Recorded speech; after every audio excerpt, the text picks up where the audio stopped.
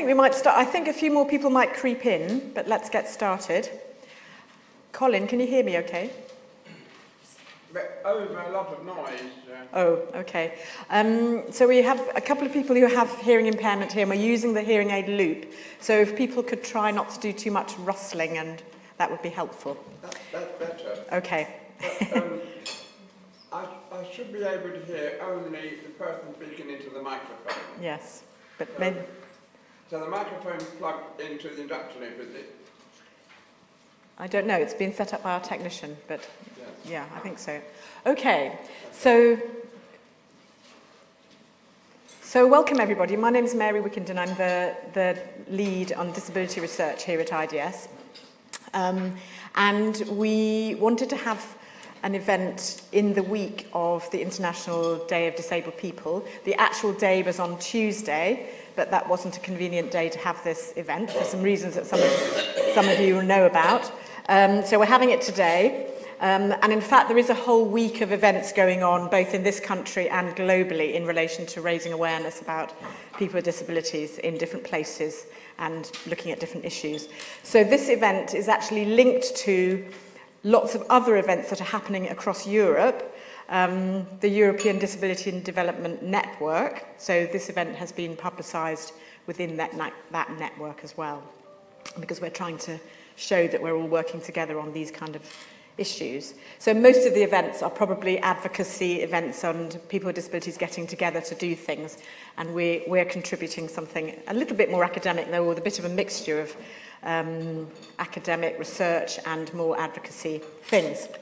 So um, I've just put a slide about the European Disability and Development Week there, um, which um, has a slogan, Together for Inclusion, and it basically emphasises the aims of the week uh, in the European group are to try and encourage an inclusive, inclusive approach to sustainable development to make sure that nobody with disability is left behind, just as the SDG slogan is, no one should be left behind.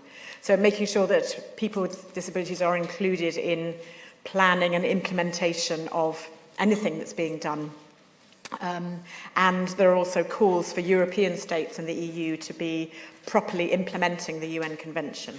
So those are some aims that the whole week has, if you like.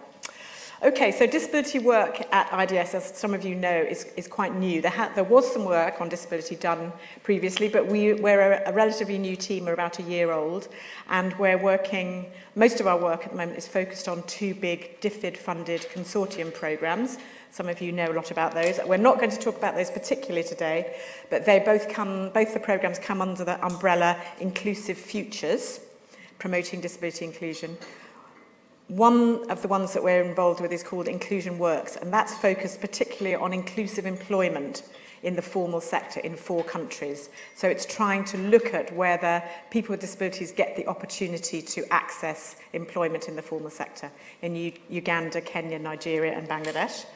The other one is called the DID program, Disability Inclusive Development, and that has four strands of work.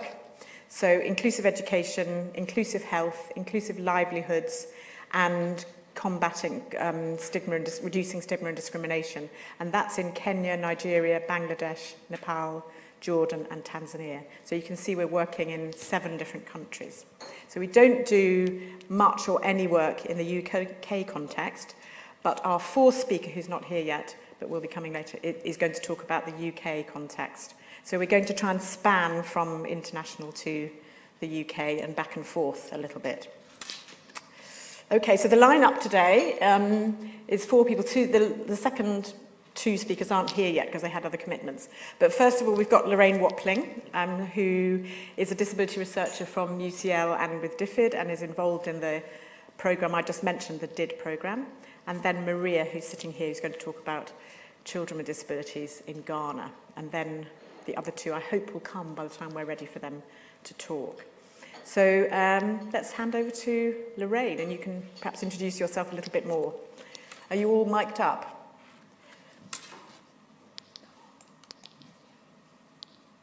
Uh,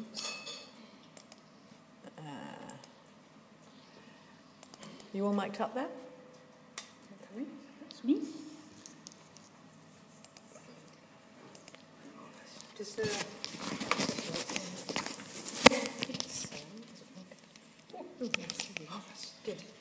Okay, thanks very much, Mary. Um, good evening, everyone. Nice to um, nice to be invited to um, come and talk to you. I think my job is to start big. So um, I guess I'm, I'm going to be looking at sort of more large-scale um, ideas and how we can look at the importance of um, data and disaggregation of data um, to improve um, programming, um, to improve the way that, that projects are developed and implemented. So lots of what I'm going to talk about is, is quite large scale, and then I think um, it's going to get gradually more narrow, I think. So this will be really interesting. So the impact of disability disaggregated data on program decision making. It's quite difficult to say, actually. So, how to solve a sticky problem? This is a, what I call a sticky problem. It really is genuinely difficult. Why collecting disability data is not straightforward. Basically, there are many, many different uh, factors which make trying to disaggregate or collect um, data on disability really difficult, which is why in 2020, practically, we're still talking about how do we collect quantitative data or any data on disability. Why is it so difficult to do that? Okay, well, basically, why it's important, we need to be collecting disaggregated data because the lack of information really is contributing, I think, to a sense within the development community that disability is not a development problem. So without having that data, then it's very easy for decision makers and practitioners to say, well, it's not a very important problem or it's not a significant problem. And in any case, what's it got to do with, you know, development? That's, that's disabled people. So basically, we need to be disaggregating data and we need to be getting more um, data and information into those decision-making fora because we know a few things, and, and particularly those of us that have been working within disability and development for probably too many years, um, we know that there is a relationship between disability and poverty. Exactly what that relationship is, we're not entirely sure. But there is definitely a correlation between the two. We know that people with disabilities are less likely to be reached by mainstream anti-poverty, mainstream general education programs, disabled people are generally speaking not going to automatically benefit from those even when the intention is to reach the most marginalized or to be inclusive. Um, we know that persons with disability tend to miss those. We also know, and it's linked, that disabled people are more likely to be socially marginalized. It becomes difficult for people with disabilities to participate in things. The marginalization and stigma is a factor. Um, so basically, persons with disabilities are more likely overall to have their human rights denied, even when those rights are built into constitutions, into policies, into programs, even into what organizations say is their mission by and large, disabled people around the world, particularly in low-income countries, are being denied basic rights. Okay, so what are the challenges around data? Well, um, basically, disabled people are invisible in most data sets. So when you aggregate up and you get broad data sets, um, it's almost impossible for you to understand what is, what is the issue here in relation to people with disabilities. Part of the issue that we have is that disability from a rights perspective isn't very well understood around the world and amongst practitioners and decision makers. So there is a tendency to think, oh, disability is about a medical thing, or it's a specialist thing, it's not my responsibility. Um, so we still need to do lots and lots of awareness raising to talk about disability as a development issue. Um, we also see that when organizations or programs start to think about disability, they then tend to sort of homogenize the experiences of disabled people. So they tend to just talk about, I'm guilty of this too, but you, you tend to just talk about people with disabilities. And in the data, often what we see is just a single line saying people with disabilities. We maybe don't even know um, gender, age, or anything. Um, so there is a tendency for this homogenization of experiences. We also lack documented experiences in relation to um, disability inclusion. There's, there's a knowledge gap, an absolute knowledge gap, which I um, talked about at the beginning. So how disabled people experience development is, is something that, you know, is not very well known. So including people in, in poverty reduction programs, in social protection programs, in education programs, what is their experience of that? Well, virtually no one is, is, is asking that question. So um, there is an absolute documented, lack of documented evidence around the experiences of people with disability. And I think all of those things together mean that we underestimate the impact of disability, we underestimate the impact it has on development outcomes. We underestimate the, fact, the, the impact that has on countries developing, um, on families, on households, on communities, because it's just invisible. So, Okay, fine. So I do my uh, plea for collecting disability disaggregated data, but um, uh, it's a sticky problem. It's incredibly difficult to do. The main challenges are, you know, you, you cannot simply say, do you have a disability? Um, you can, but you're likely in most contexts to get very, um, not very accurate data if you simply ask that question. Sometimes people are, are, think, well, it's an obvious question, right? You just ask if a person has a disability. But there are so many reasons why that's a bad idea. Um, many disabilities, are, for, these are just a few of the reasons why asking that question doesn't work. Um, many disabilities are not visually obvious, so sometimes, uh, sometimes when uh, surveys are happening, people, people will say, oh yeah, I, I had a look to see how many disabled people there were, or I, I looked to see if they had a disability. Okay, well, most dis disabilities maybe are not even visually obvious. People themselves may not label themselves as having a disability. Lots of reasons why that's the case. Um, it could be because of stigma, it could be because people don't believe that they have a disability. Um, people also maybe say, well, I, I, I've never been officially diagnosed, so I, I can't say that I have a disability, or I don't have a disability ID card, so therefore I don't have a disability. Lots and lots of reasons why someone would perhaps not say that they had a disability. In some places, if you're trying to get information about children with disabilities, for example, and you're asking families, um, carers, households, you know, do you have children with disabilities here? No, we don't have because shameful or there, there's, there's some, maybe there's some stigma. So parents don't want to necessarily um, admit that they have a child with a disability. Um, overall, that creates obviously inconsistent data. So when you have sometimes uh, information that comes to you and you see a line it says uh, prevalence rate of disability, the first thing I ask is, what was the question? How did you get this information? um, because that will tell you how valid, how reliable that question is likely to be. And up until very recently, data was basically non-comparable. because so many people were asking the question in so many different ways, it was impossible for us to aggregate information about disability, even prevalence rates, because people are asking the question in so many different ways, it's giving you completely inconsistent information.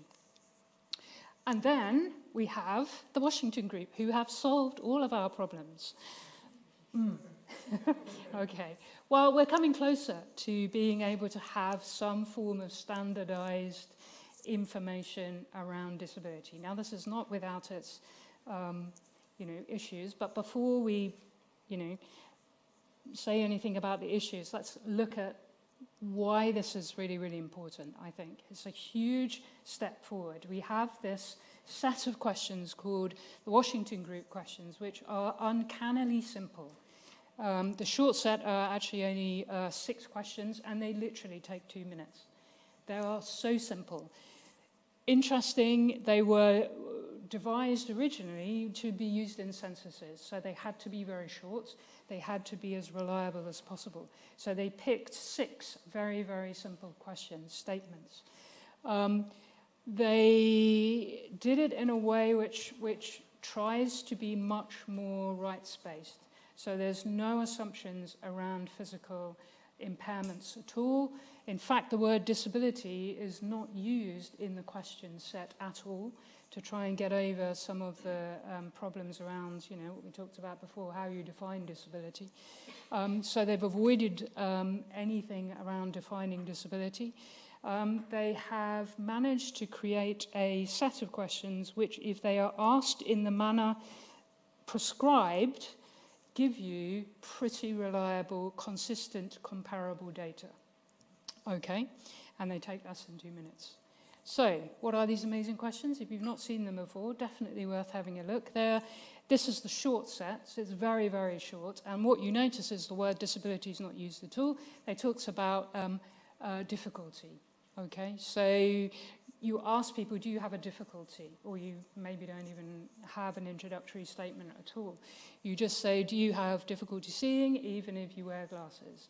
And all you have to do is say, no, no difficulty, yes, some difficulty, yes, a lot of difficulty, or no, can't do it all. So there are just four possible responses for each of the questions. Difficulty seeing, difficulty hearing, difficulty walking or climbing, steps, difficulty remembering or concentrating, difficulties with self-care, such as washing or dressing. Um, in your usual language, you have difficulty communicating. For example, um, being understood or understanding. And you simply ask the respondent to say, um, no, some difficulty, a lot of difficulty, cannot do at all. That's it. So the word disability isn't even mentioned.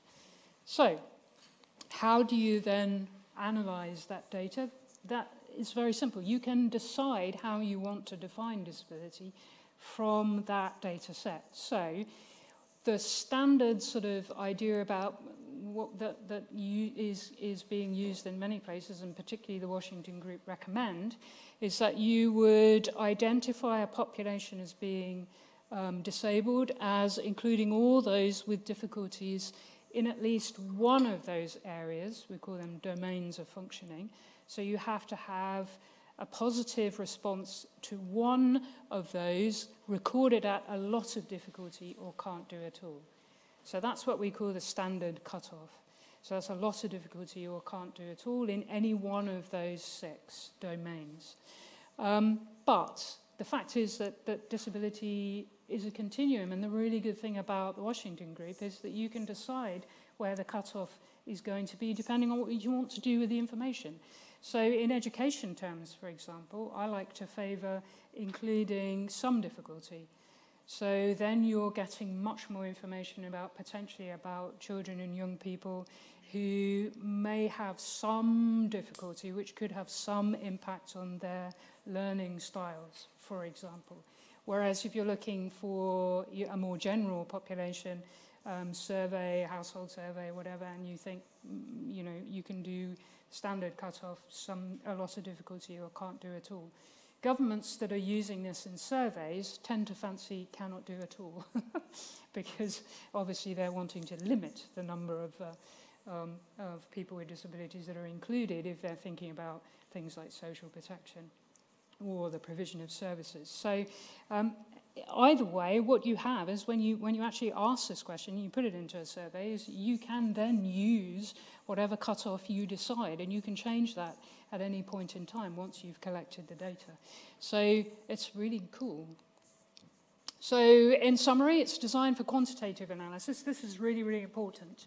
This is quantitative. This is population-based. You're getting basically a prevalence rate, nothing more. It cannot do anything more than that gives you a general prevalence. But um, it should not be used in place of more uh, disability surveys if you want to do something specifically around provision of services. You need to understand much more about the, the, the um, you need to be more accurate, but also you need to understand much more about barriers. Um, so that will require additional information, probably from the qualitative side of things, where you then perhaps go back to a population that have um, been identified as potentially having a disability, according to the Washington group. So you follow up populations that have said cannot do it all or have a lot of difficulty, and you can follow those populations up with more qualitative measures um, if you're wanting to, to plan more specifically. Um, and then you build um, into data disaggregation. So basically, you are able to get a, a slightly more nuanced, five minutes left, a slightly more nuanced um, understanding of the population that you're working with. So, um, okay, it, uh, because I've only got five minutes left, I think um, one of the things that struck me about how useful this, um, this is, is when we looked at um, general household survey data from South Africa, we were doing a social protection review, big um, program uh, study around um, disabled people's experiences of social protection. And so we were in South Africa and we had data from South Africa um, about um, access to um, their social grant. So we were looking at how many disabled people um, with different impairments were able to access the social grant. Social grant has quite a, a positive, generally speaking, it's, it's a good grant um, from social protection point of view. But when we actually crunched the numbers, so we were able to take the Washington Group uh, questions, which have been used in the general household survey, and we applied it to the information um, produced in the, um, from social protection. What we found was very interesting. Because when we broke down into the six domains, what we found um, is that um, as you go from no difficulty through to cannot do at all, we were kind of expecting that we would see more targeted um, inclusion of people that have more severe difficulties because that's what the social protection program claimed to be doing to be reaching those who have the most difficulties, who are the most socially excluded. What we actually found is that, yes, there was a continuum. So as you go up to the point of a lot of difficulty, generally speaking, the more uh, there are more people who have um, a lot of difficulty compared to no difficulty. But when it came to cannot do at all, we suddenly saw a drop off. So there are fewer people, in effect, who are being targeted by the social protection program who, who have very severe impairments. So we were able to take this information back to the government and say there, there could be some, we don't know what this means, why this is happening, but something about the setup, something about the way the program is being delivered is somehow disadvantaging people who have the most severe impairments. And that became particularly in areas of uh, communication um, and remembering were two areas where this was, was particularly um, big. So by disaggregating at this level, we were able to then go back to the government and say, you know, this, this is fine, generally speaking, it's working, you're getting, you know, reasonable levels of inclusion, um, but there does seem to be a problem with the administration, the way it's being implemented. So I don't have time to talk about anything else, but um, I think basically, in summary, there are two things. One, we need to push for much more data disaggregation around disability, and everything should be disaggregated by disability in the same way that we are managing to get that for gender. It is really, really important. The second thing is, I think we need to be making good use of these formalized Washington Group questions because they really, really work and they are, they are starting to have an impact on the way um, regular mainstream programs think about the inclusion of disabled people. Sorry for getting this.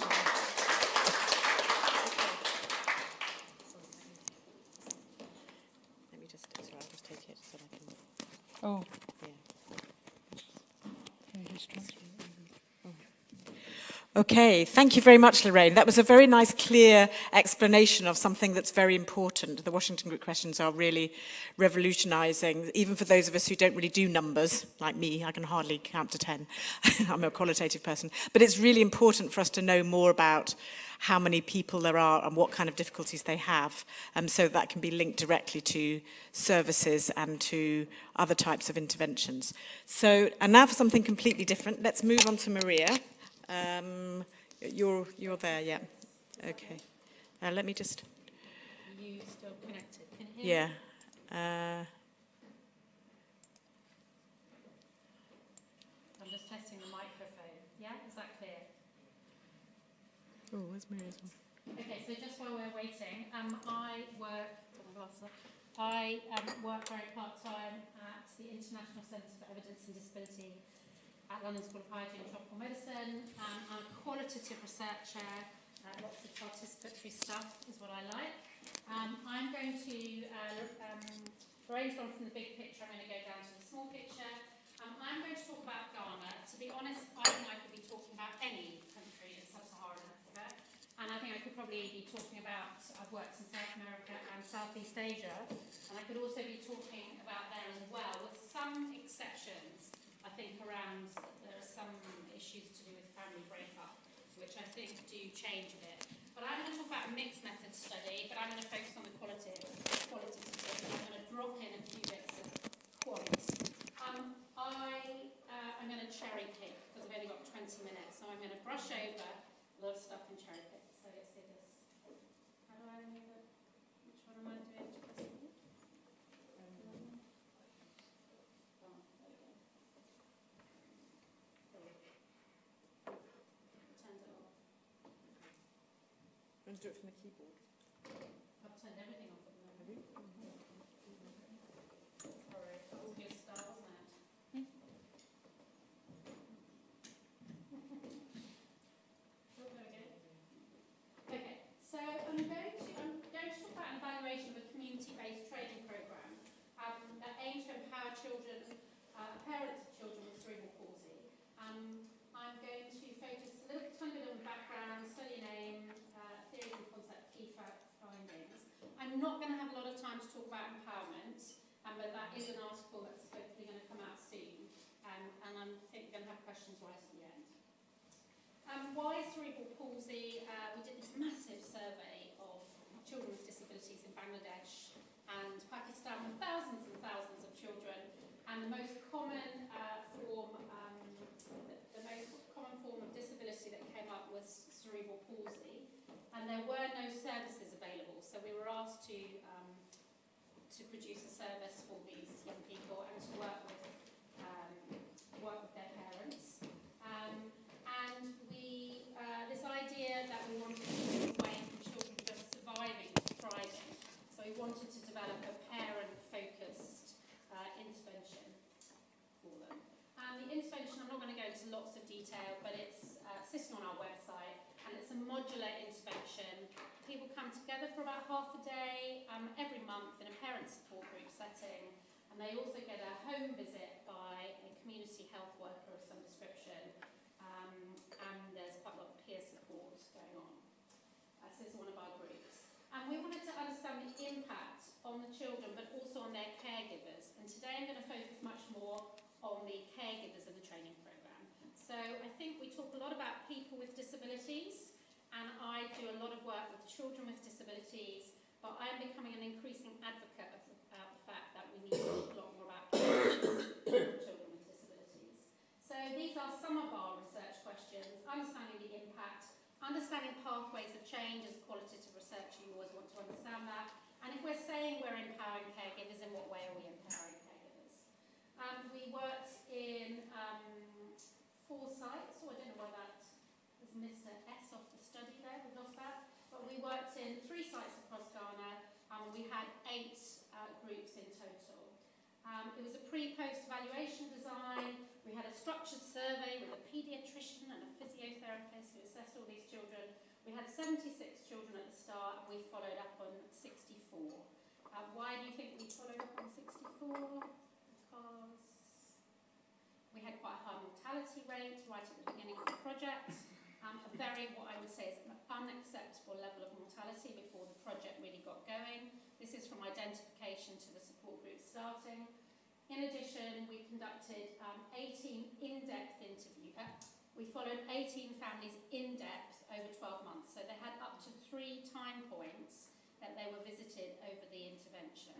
And as a qualitative researcher who's never done longitudinal data collection, I just it makes such a difference being able to go back to families over time, and that building up of trust and everything else And when they tell you everything's fine and you know it's not fine and they finally tell you by the second or third what the reality of their life is.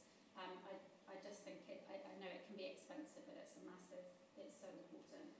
Um, so in total we had 38 interview sets. Um, that's not perfectly three times 18. We had some children die early on and then we were selecting new families as we went along.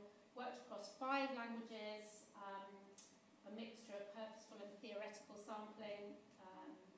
And we also, we tried to interview the caregiver at home and where possible on their own rather than in the, in the support group setting. And where we could do a secondary interview, uh, another short interview with a secondary caregiver identified by the caregiver, we tried to do that. Uh, a few, I'm just going to pick out, I'm cherry picking, there's so much information um, here. Uh, a bit on our study population. So I was planning to do loads of participatory stuff with children, and our mean age was 3.8 years, so I realised that I wasn't going to be doing much participatory stuff with our children. Uh, we had a roughly a good gender balance, 47% were female. I think it's interesting to put up the level of severity of cerebral palsy because, you know, 50% were mild and moderate. And when I looked at the qualitative work and the impact, sometimes the impact was as great, sometimes on people with very mild forms of cerebral palsy. And I think they are easy fruit that we can be easily making change with, whereas sometimes some of the really severe complex disabilities is very difficult. There was still change, but I just put that up there. You won't be surprised to know that 95% were female, in fact that should read 96%, uh, mothers or grandmothers. Um, we were very surprised, um, that shouldn't say at end sorry, I was moving slides around on the train coming down. 70% of our children at the start were underweight, stunted or wasted. And we hadn't realised it was going to be that level. And when you look at the Ghana national data, that's still incredibly high. Um, and within that, 45% of caregivers reported problems with feeding. And we did a whole separate study then looking at the feeding experiences, which I'm not going to talk about today, but if you are interested in that, then you Um, we had 14, so in our um, qualitative sample, we had 14 mothers, three grandmothers, very low levels of education. Now, I think this is important. 50%, it's actually 51% of households, the father was absent. And I don't think we ask this enough. We're not asking the right question in our survey. So often if you ask people who are married, yes, they're married. I took the Young Lives, the question from the Young Lives survey in Oxfordshire, which asked it in a completely different way, and I asked if the biological father of the child is at home, and then asked how frequently the father visits. And then we had 51% of families' fathers absent. In the qualitative sample, when they really got to know you, 11 out of 18 of those families, the father was absent. In 6 out of 18 cases, the father worked regularly away from home, or it was a polygamous marriage and he was never to be seen again, um, having had a child with a disability. And we had one father in the group who was an active father by the last um, uh, interview, sadly, he had been imprisoned for something completely unrelated to his child, um, and, and that was a very sad story. But, you know, that needs to be much more evident, and I don't see it evident enough in our work that these are largely single-parent, female-headed households. That does differ if you start going to Southeast Asia and, and stuff like that, so I, I would say this is quite common within the African context. Um, and overall, uh, very low uh, quality of life measures for everybody. So I look at the qualitative work of baseline, um, very high levels of stigma and discrimination and pervasive traditional beliefs. I've worked more than 30 years in international development, but I've not worked in West Africa before. And, you know, we interviewed people who talked about poisoning their children to see if they were really human. Uh, so that level of stigma and discrimination, I don't think we have really seen, or I haven't seen as, as, as high before. High levels of emotional stress and physical exhaustion of caregivers, very limited wider family support, lack of community social safety nets, isolation of the caregiver, a big impact on caregiving on livelihoods, um, and poverty coming in here. So these were key issues at the baseline. Uh, this is an example of Matilda, uh, five years old, lived with her grandparents, mother had died, very severely malnourished when we met her. Uh, the, the grandmother said, we thought she was a child, but when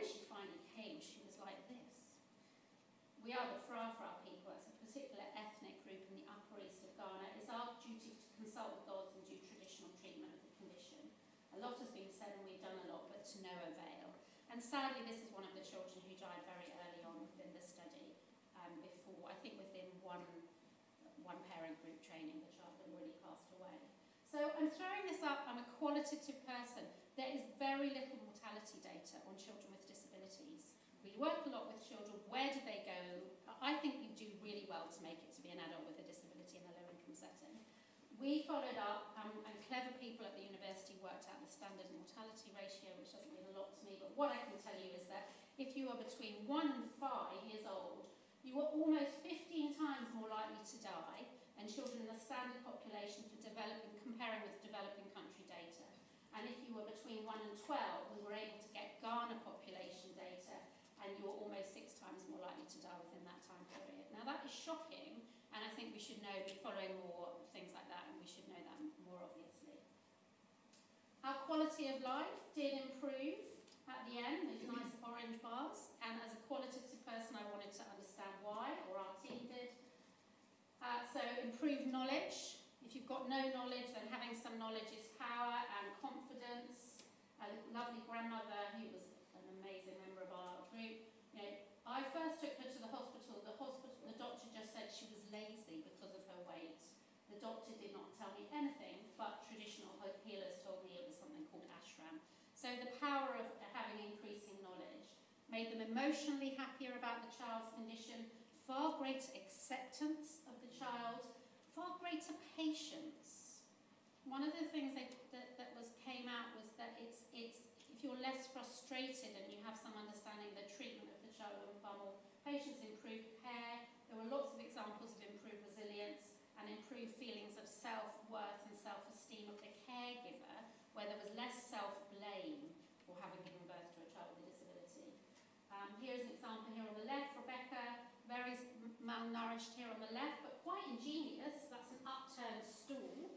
I thought that was quite clever um, but in a corner, a dark corner of the house. And then by the end of the study, this is the same child in a paper mache. If you're used to paper technology, appropriate paper technology, um, to have a standing frame, and um, the mum here much happier um, about uh, understanding her child's condition and uh, trying to improve the nutrition for the child. And you think that's all wonderful, I quite I tend to focus on challenges, I'm afraid. Um, this is her family. She lives with the mother-in-law. The mother-in-law is this rather stern-looking woman on the right. And her, the, the father of the child is working away in a craft. He came, over the 14 months, he came home once. So she's living with this extended family and she feels very isolated and rejected within the family. And she doesn't feel that they are supported at all. And that did not change over the course of the project. You know, there was a whole complexity and she didn't have economic control over what decision making within the household if she wanted to improve nutrition for her for her daughter. Um, that wasn't possible. Um, so, you know, the, complexity of the kinship issues going on, you know, really needed much more looking at within our programme. Um, but in terms of the support group, in a way they became the family for many people. If I hear the word, it was like my family, that was almost consistent across every interview. Definitely helped in reducing social isolation. Um, a lot of psychosocial support. I'm not on my own, very common. A safe place to talk about very difficult situations. A lot of collective sharing, helping to reduce stigma, and a lot of peer learning. These are two grandmothers here supporting each other about look, looking after the child. Here we go. I realise at first I wasn't doing that, sharing problems, but now I realise we're one family, so that was a big issue. Um, this picture here, uh, this mother here with her son who has got quite a severe level of disability, she was not able to put him down. He would constantly cry, and her main income was through hat weaving. So you can imagine how much hat weaving went on. Her mother, there on the right, has, um, I can never pronounce it, elephantiasis so very disabled, not in receipt of any uh, social protection because they weren't uh, of the right political allegiance at the local community level, so they didn't get onto the LEAP programme, which is an important livelihoods programme, despite the fact that they had two people with disability within the family. Um, so if we want to talk about caregiver empowerment and um, empower, you know, power over local social political processes. How realistic is that? So that didn't change over the course of the programme, although other aspects of quality of life did improve. So um, we, when we talk about inclusion with livelihoods, we talk about the inclusion of people with disability.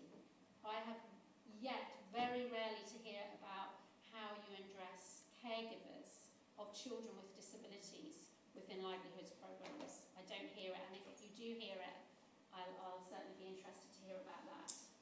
Um, so I think you know we need to look at the gendered nature nature of caregiving and the interaction with poverty if we are really going to make a difference to the lives of children with disabilities.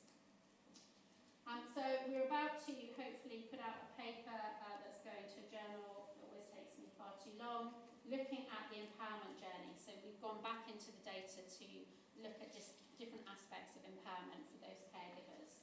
Um, and I love all the IDS stuff, so there's a lot of material from IDS that has gone into that paper.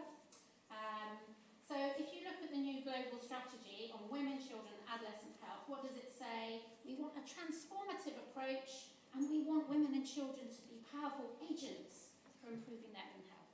And in these CBR, WHO uh, guidelines, we talk about the importance of empowering people with and their families um, to ensure everyone has access to it, right? And then we've got the social model of disability, which focuses on adults with disabilities.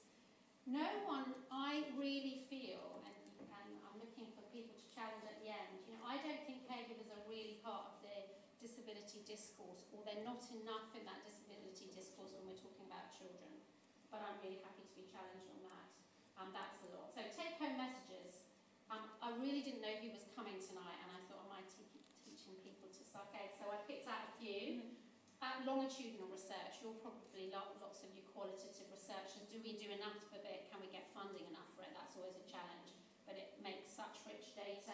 We've already talked about the danger of homogenising people with disability, and that's the same for children with disability.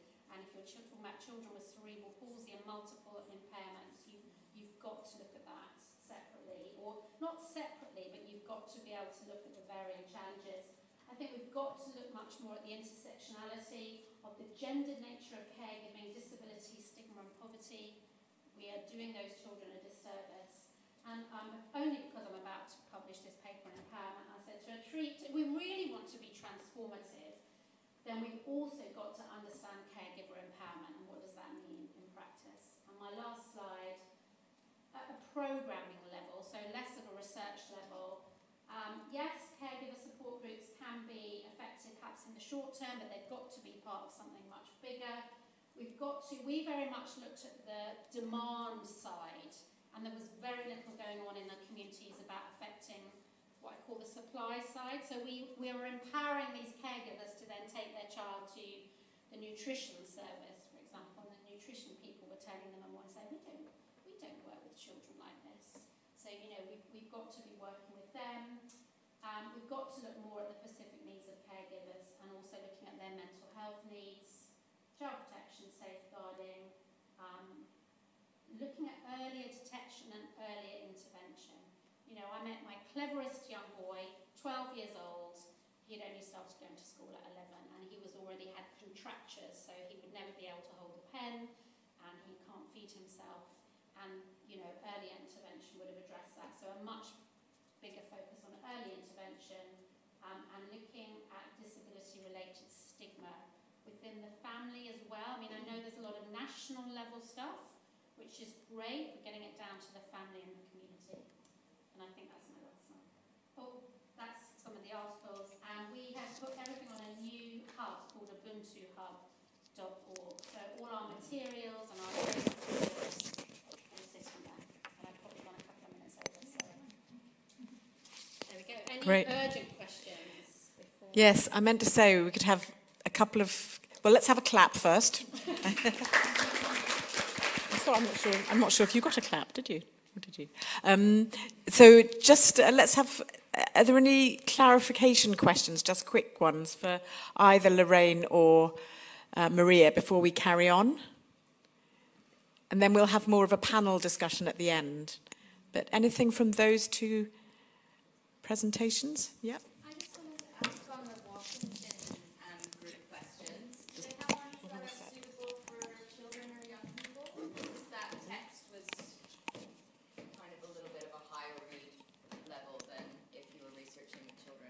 Sorry, could you just ask again, because it's on the recording?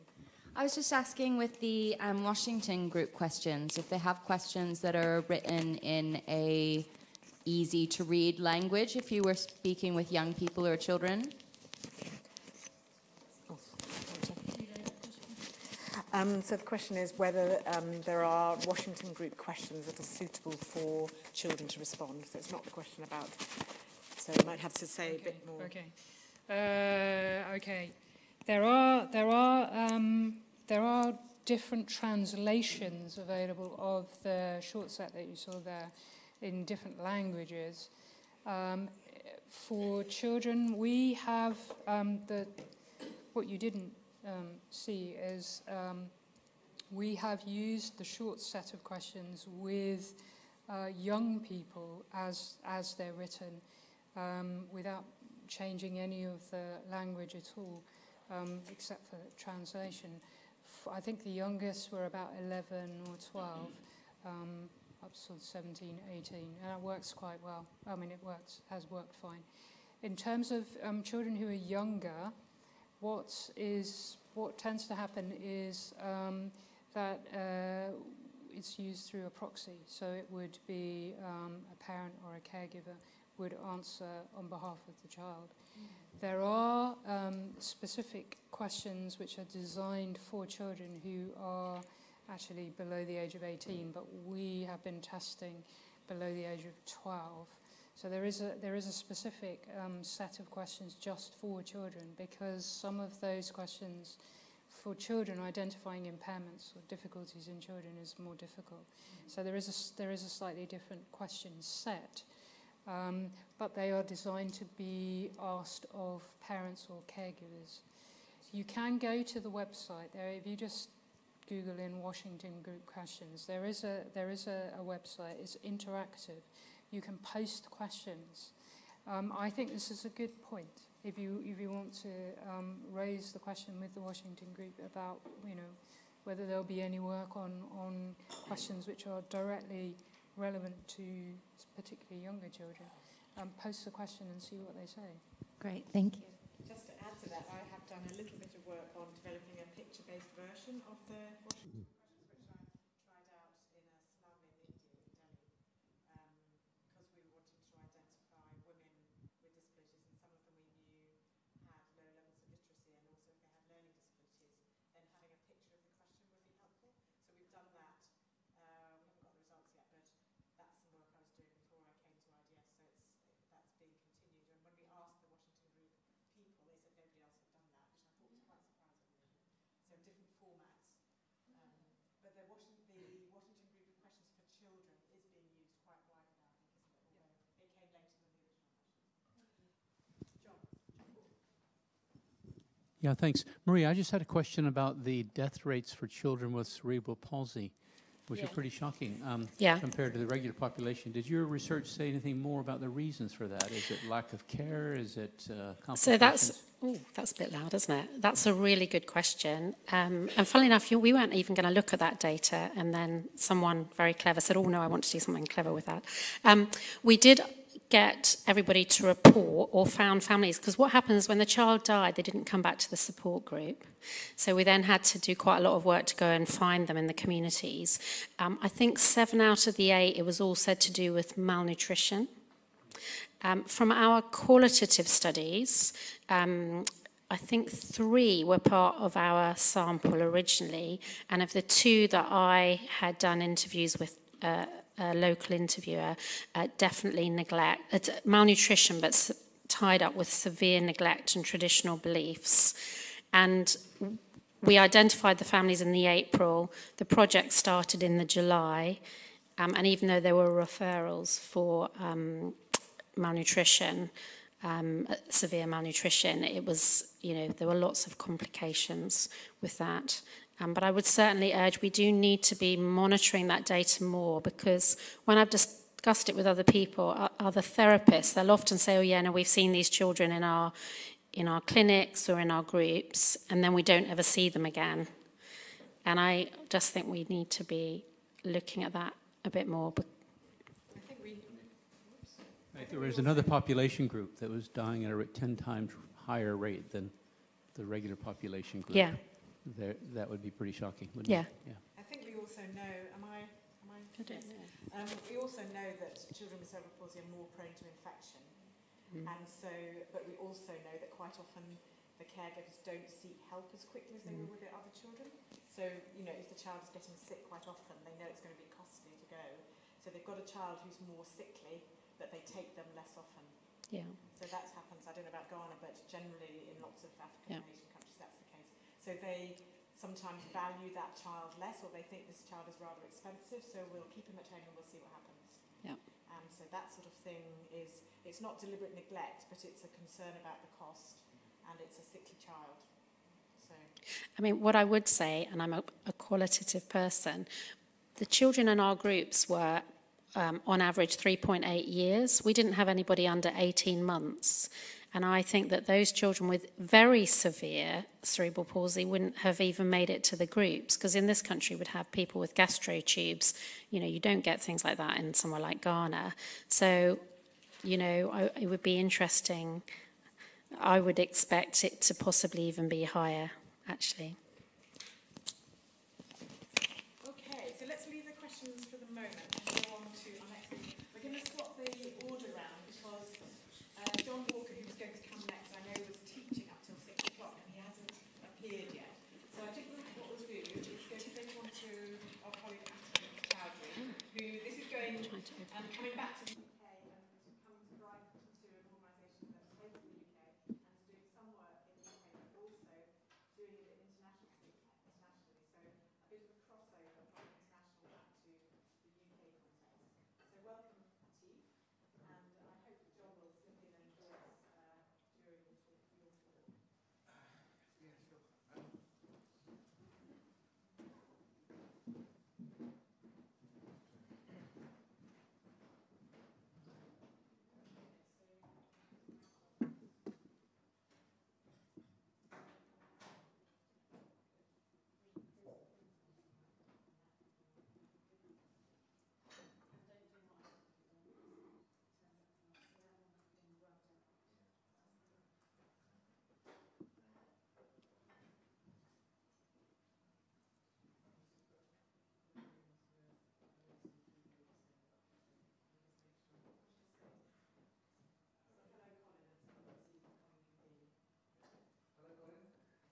Can you hear? Colin? Colin, can you hear? Uh, with, with great difficulty. Didn't I not, didn't I not use the very microphone? Okay, he's using, he's, he's on the, he's on the lapel mic. You should be able to hear him. You should be able, you should be able to hear him on the lapel mic. Can you hear him? Will say something, Steve? Well, hello? I'm sorry. Hello, can you hear this? People don't use the microphone.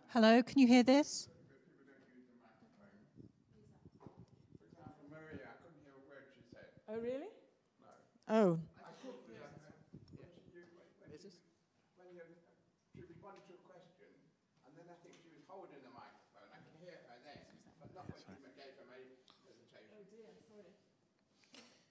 okay. can Atif, try, yeah, you can use the handheld one. is that better? Can you hear me? Is that? Can you all hear me? Okay. All right. Great. Um, I'll try to make sure I pitch my voice and. Um, yeah. Okay. Great. And if it goes quiet, just um, yeah, or throw something at me. so, um, okay, that's fine. Um, bear with me one second. I'm just going to get the screen up on, on for me as well. Bear with me a second, and I will just do this.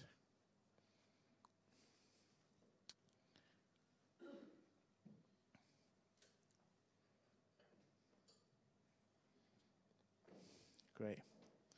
Okay, so um, thank you for asking me to come and speak here today. I'm going to hopefully take you on a bit of a journey from. Sorry. Come, come and sit, get settled in. It's all right. Uh, hopefully, just take you on a bit of a quick journey from the work that we do in Brighton, uh, which spreads out across the country, and I'll illustrate what that work is. Uh, and I hope that we take that discussion further into the work that we're now being asked to do internationally with the Commonwealth for Learning and why that matters. Um, okay, so in the first instance, I'll just tell, tell you a little bit about what I do. Um, I'm from Diversity and Ability. Uh, I'm one of the founders of it. There's a network of 105 of us now across the country, but where our office is based in Brighton. And we're a social enterprise designed uh, and completely built by disabled lived experiences. And what we do is focus on assistive technology to make sure we support it and train it very well in people's homes. We work largely with universities, so Cambridge, Imperial, and Oxford are probably our most famous clients. Hopefully soon Sussex as well, by looks of things. But what we do is provide assistive technology training, essentially assistive technology training in people's houses, in their homes, of students. That's, the, that's essentially the story. We started, we started 15 years ago. Um, I needed support, couldn't really get it. It's a big discussion, but mostly for me, what I needed was familiarity.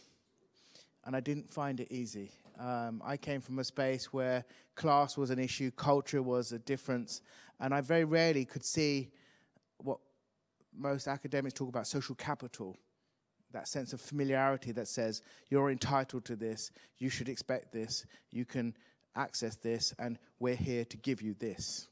Um, I was very locked out of those kind of environments and the thinking that that would even be there. So most of my childhood and academic understanding came much later on in life, but even then, it was really about masking what I thought I hope people didn't find out about, rather than being excited about the way I did anything. Um, I, just, in a snapshot, I found my voice strangely in Palestine. I set up a fair trade olive oil company, which some of you might have come across, called Zaytoun.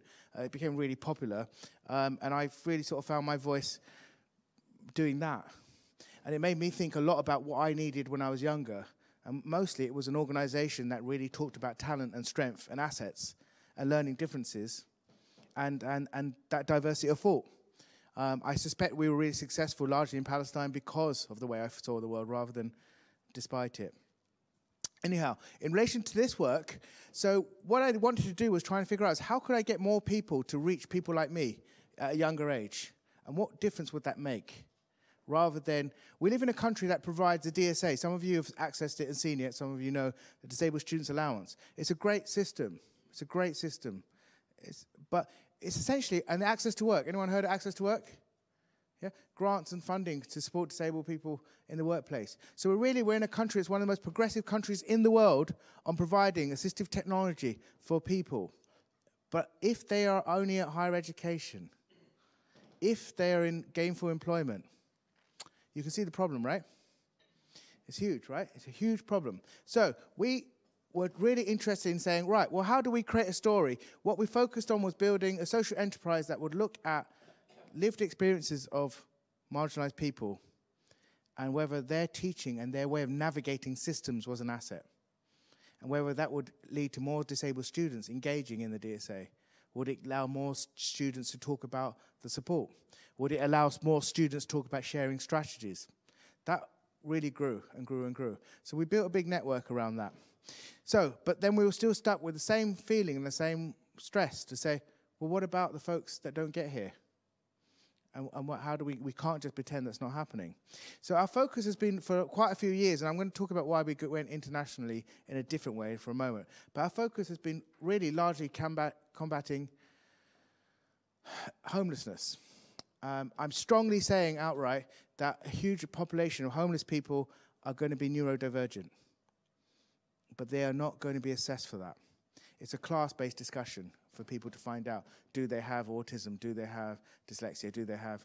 The people that do find out when they're not from a, a, a more... I'm, I know I'm generalizing, but, but when we look at it in the cases of people from really lower working class environments that know about it beforehand, they know about it because there's been pupil referral units involved. There's been custodial sentences involved. Most folks who get to know when they're young are coming from a comfortable European, often white, middle class setting. That doesn't make it any easier, but it does allow the anticipatory support to kick in. It means the anticipatory support, the Equalities Act, is accessible to you. If you don't have that anticipatory way of working, then you're locked out of it. The ramifications are on that are huge. So, the combat, really, I, I'm going to say this clearly quickly because I want to get to where I want to, is that we're living in a digital by default world. It is really one that says you've got to go online if you want to access a university application. You've got to go online if you want to access uh, just basic welfare. Whether you can read is not the question. It's just you have to just go online. That digital by default narrative creates an underclass. It creates an underclass of people who are locked out of that through socioeconomics, and it creates an underclass of people who just don't navigate the world through that uh, paradigm, really. This is the government's digital, well, it's a policy paper on 2020 to get everyone online by 2020. Do you think, folks, we're on that target for that? we're not, right? We're not. It's huge. I, I'm not going to spend ages on this, but we're just not. That's a biggie if you can think about universal application, sorry, universal credit applications, the amount of people disabled that have got to prove how many job searches they've done, upload it onto a website in order to access their welfare. The question of whether they can access a home computer is not on the table. The question whether they can fill out the form is not on the table. The question, what is on the table, is how much of a journal have they completed and what can they justify and prove. It is a, a real life issue that again, I don't want to be too emotive, but the, I'm ra raising this issue with DWP at a national level. The, the folks in Brighton, they're good folks, essentially. They don't, I've never met anyone DWP in Brighton that's part of a hostile environment or wants to reinforce that. What I do see is people who say, we don't know what to do about this. Um, what I also tell you this is that the people that really need that support around autism and dyslexia, for example, that don't know, that instead are feeling a sense of helplessness and a sense of lack of belonging or a sense that they just don't deserve much. They take that problem elsewhere. They take it to physical mental health manifestations. They take it to accident emergencies in some cases, you know, in some cases. But more, more normally, they're taking it to local libraries. Yeah? So the DWP isn't really seeing it. So it's not doing anything anticipatory about it. And if you ask them, they're saying, well, if someone tells us they need help, that they've got a statement, then we'll do something. You can see the problem, right? It's a, it's a circle. Why does that matter? Because really, the theme isn't to talk about people with disabilities, it's to talk about what is disabling. What is a disabling situation? We are all going to face disabling situations the moment we're elderly, right? We have this real narrative to other people. I, I think it's not helpful. We do need to talk about a social model far more than we do, rather than it just be an add on in the way we contextualize what we do in this. Um, but again, I, I don't want to break the room. I'm just saying it's a it's an issue that I think people seem to not really understand what it means. So I, would like to talk about that more. So um, I'm just going to fast forward it, but this is the reality on the streets, really. Um, I'm not going to really uh, hide why this is happening, but it's a choice, and it has happened, and it's real. These are stats that are really happening, and these are stats are actually pulled from the UK Parliament. I mean, you know, make it that way you will. Um, the gap is getting worse. We are seeing more and more. Uh, so there's a real. We are seeing more and more homeless folks coming onto the streets. We're seeing more rough sleepers, but we're also seeing a lot more people sofa sleeping, and we're seeing a lot more people dealing with the shame and the fear of that. But what we're not seeing is a lot more people accessing the conversations that they need to around hidden learning differences and how disabling they can be. What we're also not seeing is the idea that this technology, and this is where I'm getting to, is makes such a life-changing difference and it can be free. DNA's focus, my focus is to look at open source free technology.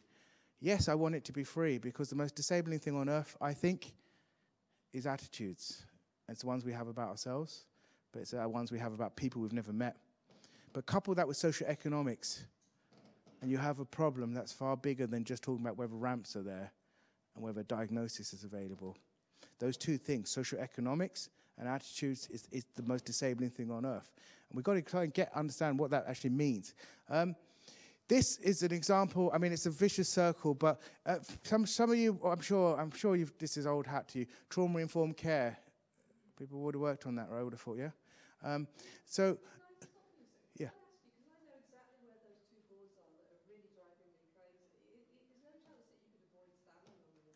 Yeah, sure. Oh, yeah, sure. I haven't even heard. It's okay. Yeah, it's fine. No, it's okay. So I didn't. I, no, fine. That's, yeah, I, I didn't even hear them. okay.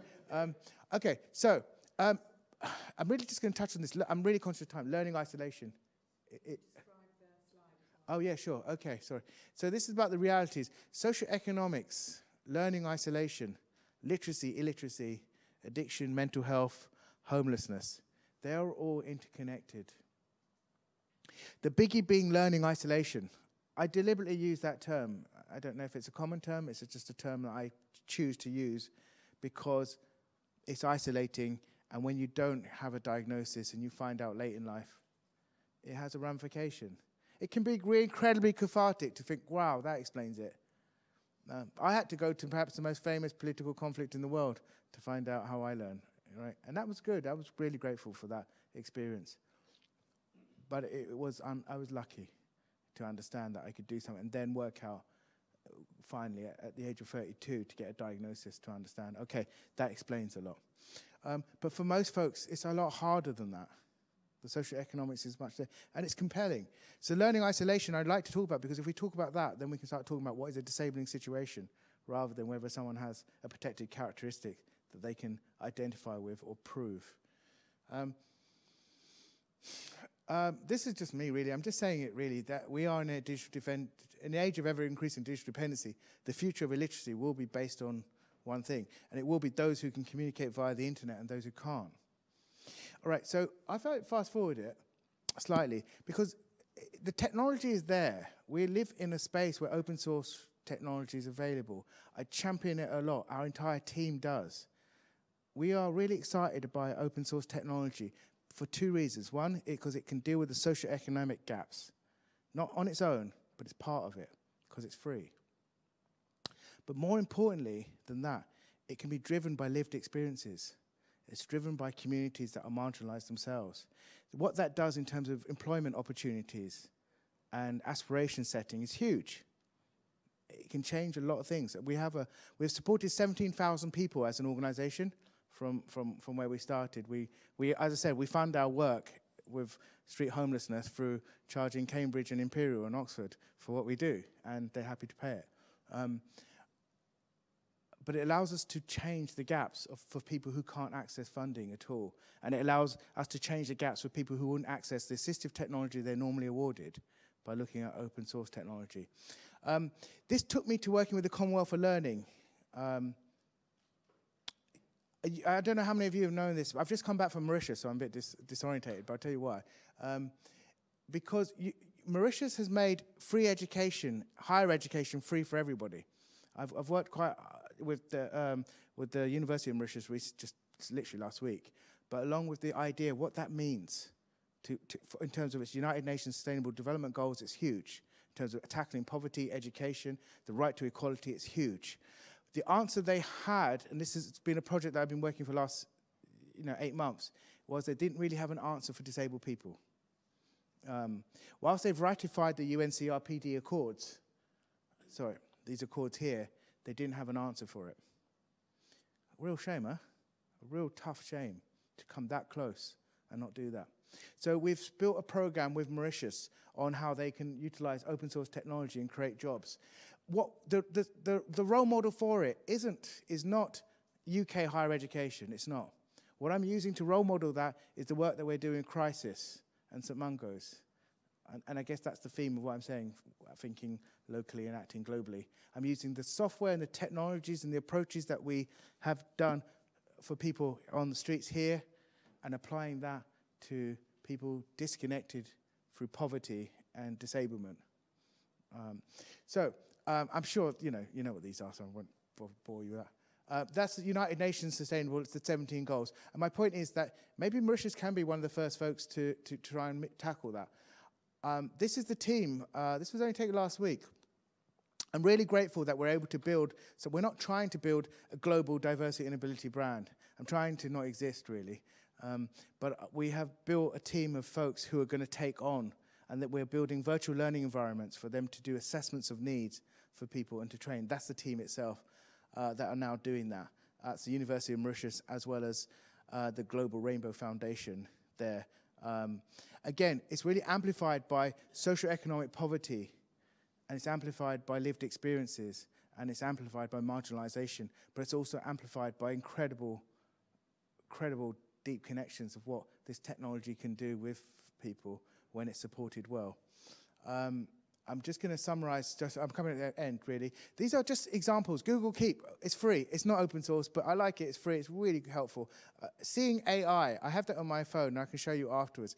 We created a virtual learning environment. You've, there's a link to it there. And if I can show you, I will do. But this is seeing AI. Has anyone ever come across that or Be My Eyes? Yeah? See, seeing a, Be My Eyes, great. How are you finding it? Oh, you never. Okay, it's quite interesting. There do you know how many blind people there are in the world? Uh, roughly, just roughly. Three? 253 million. Yeah, 250. Uh, there's, there's three mi- 45 million people with virtual, visual impairment need. 45 million. It's huge. 45 million, right? We don't have enough people you sign up to Be My Eyes. It's not because it's so popular, it's because, again, it's the social economics. What Be My Eyes does, I'll say really quickly, anyone can help. I really recommend you all signing up to it. It means that a blind person may, I supported someone in San Francisco who couldn't find their keys, and they just sign on, I can see their phone, and their phone links to mine, and I can see their home, and I'm saying, look, if you move your hand just to a little bit there, there it is, and, and, you know, and he had it, and it was great, and that was it.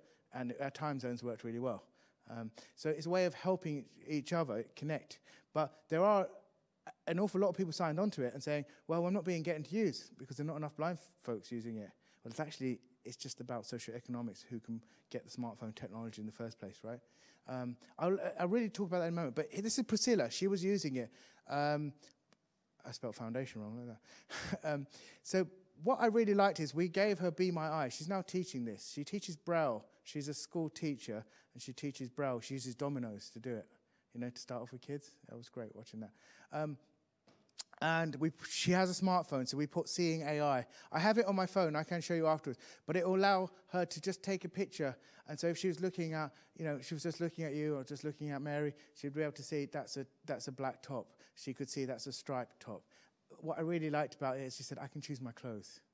You know, I should, that was really simple. I can choose my own clothes. Whatever Be My uh, Seeing AI does, you point to a piece of paper and it will just immediately read to you. If she was here online, she'd be able to take a picture of this room and it will say there are tables. There are how many people. She points here, she can say there are three people in front of you. You know, it just tells, and it's completely free. Uh, it's built by, again, lived experiences. Be My Eyes, it's just a sheer solidarity of being blind from birth, but being able to link with other people around the world. But my main thing is that Priscilla is a teacher, and she's able to teach this technology to other kids that she's working with. Um, that's it, really. I did that as quickly as I could.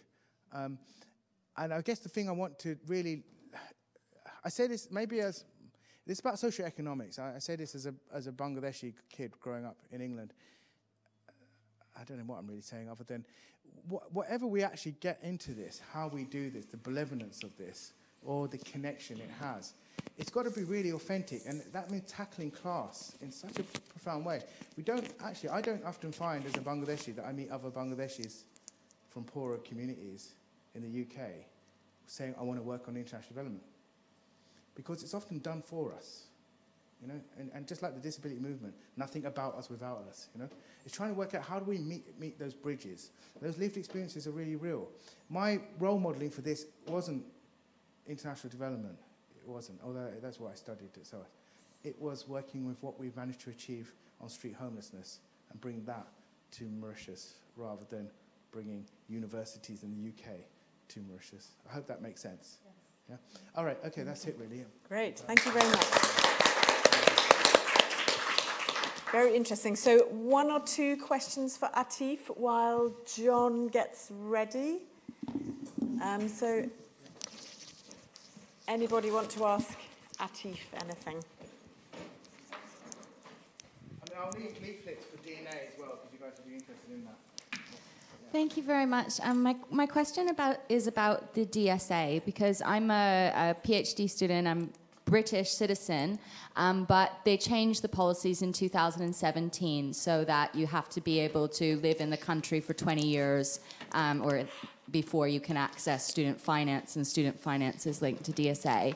Um, I've been trying to ask this for so many people, and no one will give me a straight answer because I do know that EU citizens will be subject to the same laws as normal citizens.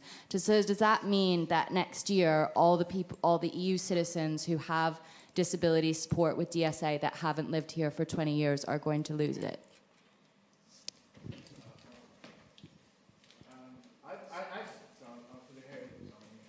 Sorry, just saying. I actually don't know the answer to that. I think that's terrible. Absolutely terrible. I've not heard that. Um, I will say on our website we have a list of free software to replicate what they're giving out on the DSA. Um, we don't sell any software. I just want to make the strategies as accessible to everyone as possible. So I'll give you a link to that. It'll, say, it'll have text-to-speech software that's free, voice input software that's free, mind mapping that's free, and all those things. I'm not trying to undermine the DSA. I'm just saying let's get it out there. But I have not heard that, and I just think again that's an antithesis of what the DSA should be about: accessibility for more. Right? There's lots of us that fall through the cracks, but you know, until there's huge numbers, nobody's going to care. Yeah. you know. yeah. Say that yeah, into the totally. microphone.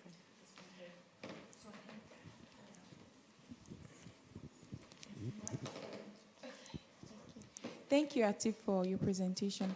Um, when we talk about technology coming from Nigeria, uh, one of the things that comes to mind for me is usually how very accessible and affordable can it be for for people.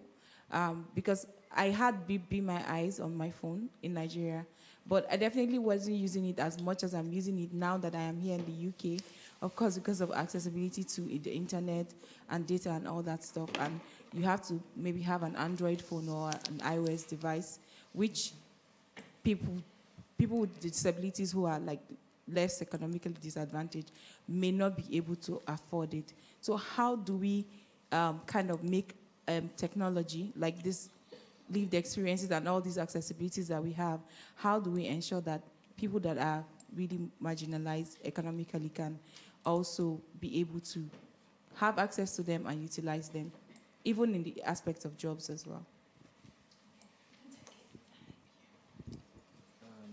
Great. Yeah, I mean, it's a really powerful question. Um, yeah, I mean, the, the fact that they, I mean, Be My Eyes should sit on every phone. Uh, it should be cross-platform, really. Uh, seeing AI is not in every country yet. It has, a, it has a blind currency converter, which is great, but it, for that reason, it's not in every country because it's still going through that process of it. But what you're really talking about is the sophistication of the phone itself, or even having access to a phone, which is really, and that's, I guess that's a tough, that's a tough, that's a tough question that everyone in development has to work through. Is that we work on uh, this whole room will work on supporting the poor, but the absolute poor are always left out of the paradigm. It's always left out of the, the culture setting. We just don't say it enough, right? And that's that's the whole belief in trickle down that is so deeply absurd that it's that it's working and it, it isn't. Best we can do is just keep familiarizing technology and talking about things work through lived experiences. So at least there's some authenticity to say, well, it's worked for you. It's not about whether someone from a wealthy background has a fancy gadget that I can't access, but it's more, it's worked for you, and that may have a role for me. It's that invitation. But you're right. I, I, I don't. I'm, I wish I could tell you that. Here it is. The best I can do is keep giving it out for free, and have uh, people talking about it, and have universities showing it off as a story and a social enterprise. Um, and that's what we're kind of doing. I hope that half answers part of your question. Yeah. Thank you very much, Atif. And we might come back to that conversation uh, when we've had John's talk. So thank you. So now our final speaker. So John has come hot foot from teaching students, rushed over here um, to join in. So John is a, a PhD student at the University of Sussex, just over the way and he's doing a very interesting PhD, so he's going to tell us about that. Uh, telling us through sign language, but with his interpreter to voice it for those of us who don't know sign language. Okay, over to you. Uh, let's get rid of that one. Uh, communication checking, can you hear me okay? Oh, I think you might need to hold that one as well. Yep, fair enough. Absolutely. Is it better? It okay, fair enough. I've got two now. Is it okay? It's Colin who needs the loop. Is it okay? Yeah. Colin, can, forgotten your name. It's Marco. Yep. So Co- Marco, uh, Colin, can you hear Marco? Colin, can you hear me, Marco, the sign language interpreter voice? I, I can, thank you. Lovely, no problem, brilliant. Actually, I might come close to you so I can see John.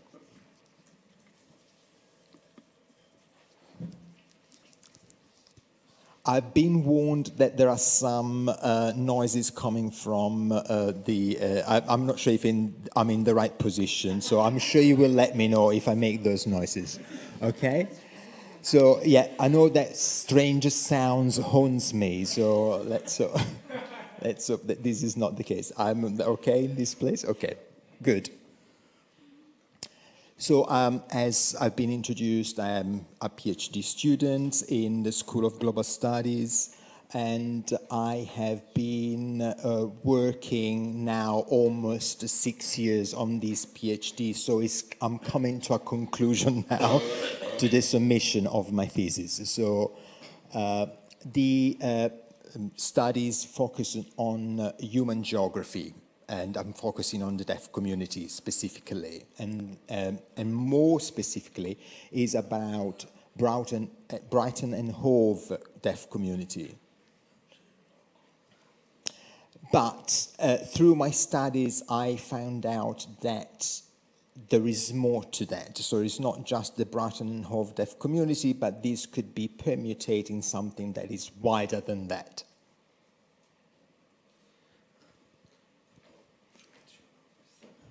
So I thought that it would have been a good idea to bring some statistics and to show some of my findings as well to what has happened in this through this research with the deaf community.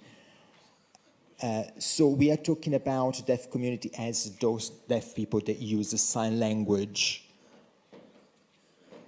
but that includes deaf, hard of hearing, deafened people and hearing people, they are all sign language users as part of the deaf community. So it's not just profoundly deaf or so they are all type of deafness and including deaf children of hearing, deaf parents, etc.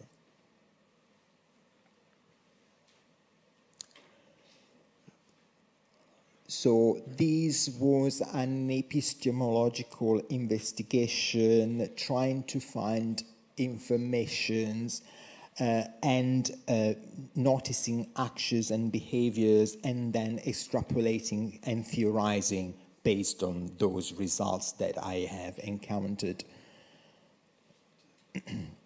so generically, I was looking at the context, at the geographical notion of the self, the body, and how these interacted in the various landscapes in which deaf people found themselves in.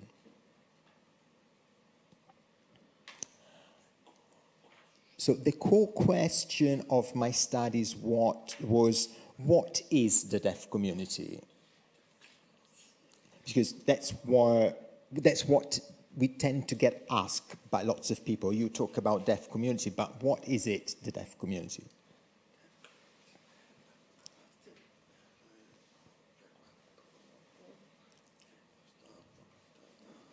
So I, in this case, I wanted to look at the data of what people say they do and what they do in reality compared to gathering the narrative of what they think they do. So I was trying to come away from the narratives and actually observing the actions, the performativity of the deaf community. I'm not saying by this that the narrative is not important. I'm saying that in my case, in my research, I wanted to focus on the actions and the performance of the individuals as member of the deaf community. So obviously there is a slide now on screen with lots of information about Brighton and Hove. However, what I wanted to say briefly about Brighton and Hove is that is a city with slightly different environment compared to other cities in the United Kingdom, with slightly different cultures compared to uh, the uh, cities in uh, the rest of the United Kingdom, political activism that is different sometimes compared to the cities in the rest of the United Kingdom, and is a cities that have between 200 and 800 deaf sign language users that live in it. And, and also historically uh, is a place where they had three different uh, deaf schools. Initially, the first one was called the uh, Institute for the Deaf and Dumb, as the term existed in those days. Uh, then later on, uh, Hall School in Ovingdean, uh, which was an oral um, um, schools, a school that used the oral method of education. And the last one is Hamilton Lodge School, which was established in 1947 and is the only one still existing and operating in Brighton and Hove nowadays.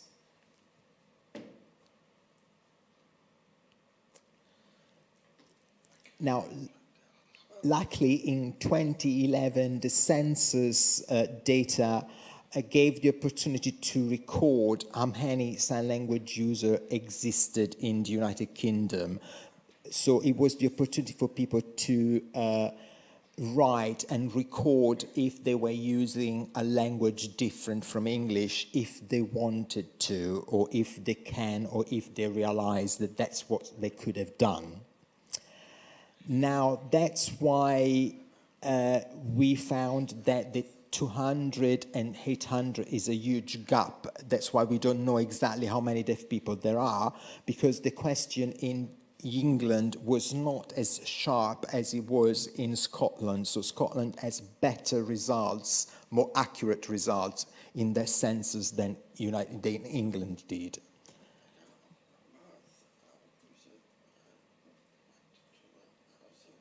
So the general uh, population of sign language user in the United Kingdom is between 22,000 and 151,000.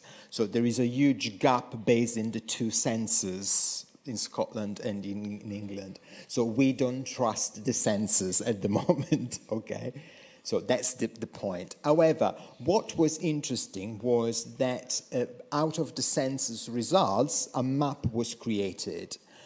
Now, what this map shows is there are lots of dispersed red dots around Brighton and Hove, which is with an average of 0.4 incidents of inhabitation in any one space, which is not indicative of anything if not that deaf people are dispersed throughout the city. Okay, so there is not huge conglomeration of one area, with the exception of this point where in this area there is a larger uh, red dot which indicates there is a 14% inhabitant in that area. And that is where Hamilton Lodge School is based. Okay, so it's not just because there are deaf children, but because there is lots of teachers that live nearby, etc., member of staffs, etc. So exactly. So not only the, the children, but we've got the staff, the um, teachers that have conglomerated, so they come closer in that area, and that's why there is this awkward incidence of 14% of inhabitants that use a sign language.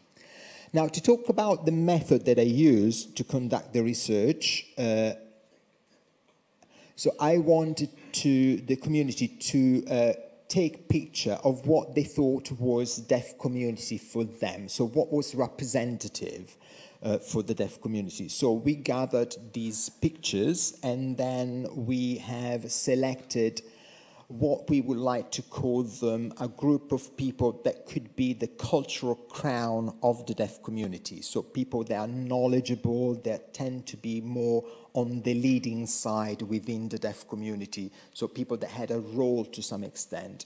And they were uh, choosing amongst the uh, total of pictures that they had, only 20 photographs that were representative of the deaf community and the culture of deaf people in the area on their, in their opinion, based on their opinion. And that's what they did. Then we went back to the deaf, I went back to the deaf community with a survey which included those pictures and other website uh, links to services for deaf people. And we wanted to know uh, uh, how, through the emotional mapping what they thought about those pictures, about feelings of happiness and kindness. And we had set up a scale between one to seven about uh, happiness and kindness. So, being one being not that happy, not that kind, and seven being very happy and not and very kind. And obviously, four was the medium, okay, the middle ground where people were indecisive if they felt looking at the picture made them happy or they felt that it was an action of kindness or something that indicated kindness.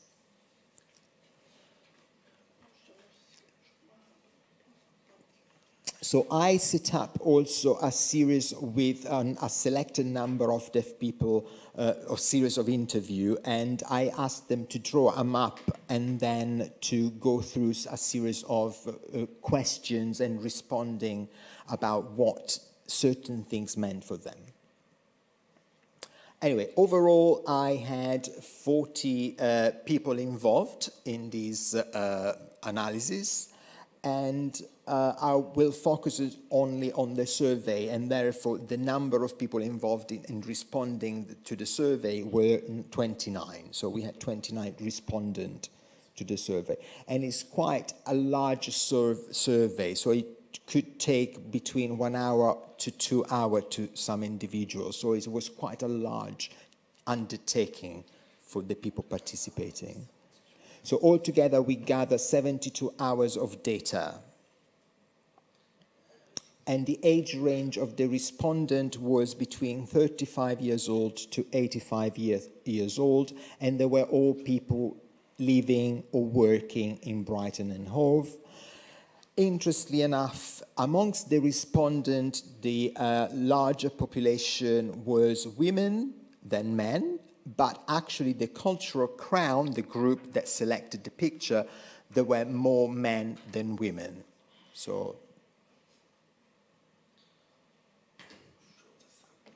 I have now uh, uh, projected a slide of one of the pages of the survey. So this was our um, BSL march in the street, and uh, we were marching, sign language user, we were marching in Brighton, uh, protesting against the lack of recognition of sign language at the time because we wanted the government to uh, acknowledge the existence of this language in the land. And what you see in the picture is actually some protesters doing a sit-in and uh, the policemen which actually knew sign language, so actually resolved the problem in the end. Oh, that's what the picture is like. And they had to choose if this picture was uh, giving them a sense of happiness and a sense of kindness and they, they, they could grade it based on the available stars between one or seven and there was by clicking in the star on the stars. So I'm sh now showing a number of pictures that indicates uh, what people found uh, in a congruent way, meaning they all agreed that this picture shows something happy, something kind, and they agreed with the cultural crown. So there was agreement between the cultural crown and the rest of the community. One of the picture uh, is a group of uh, cyclists that did a fundraising cycling session and they raised money for a certain organization. And that was interesting because these were deaf people themselves participating fundraising for a deaf organization. So it was a mutual beneficial venture. So again, deaf people agreed in the community this was a kind gesture, something that indicated something nice, kind, and make them feel happy. Now, the second picture is a group of people wearing all the same t-shirt as volunteers for a deaf event. And in the photo, actually, there are a mixture between deaf and hearing people, but it's actually you look quite uniform because they're wearing all the same t-shirt with the same volunteering and the title of the event. So it is a sense of uniformity. The third picture, uh, these are tables uh, in a picture that it was taken at a deaf ball. Again, was a, a fundraising event and they're all coming together in memory or celebrating something. So again, it was a sense of community or conviviality. Then there is another picture that is a transformative equality because uh, the local government at Brighton and Hove uh, Council has adopted the BSL Charter.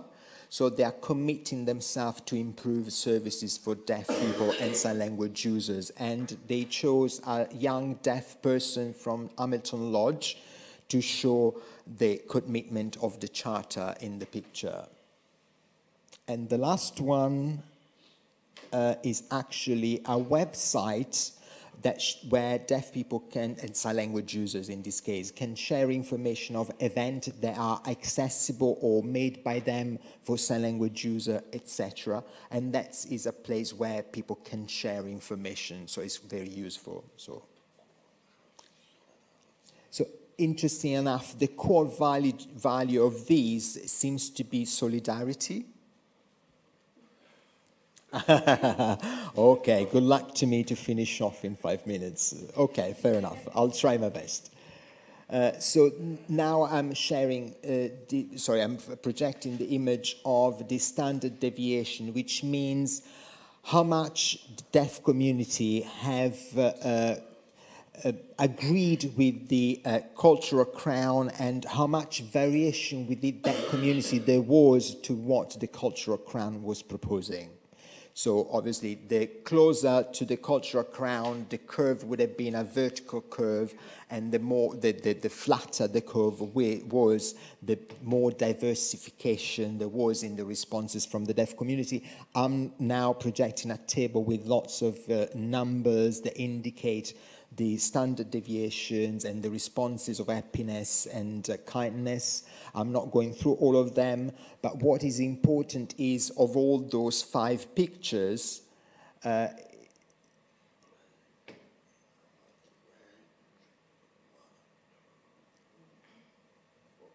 is that there seems that there is a very close agreement with the, the, the, the cultural crown from deaf people, but even more from the hearing side the, of the respondents. They are part of the deaf community. So it seems that hearing people have better knowledge and they seems to be more congruent, so they're agreeing more with what it was presented by the cultural crown. So uh, again, it shows hearing privilege. So even within the deaf community, hearing people that are part of the deaf community, for whatever reason, seems to be still in a position of privilege. Uh, because they have access to identity, culture, history that some member of the deaf community had not access to. So these things do not get taught in schools.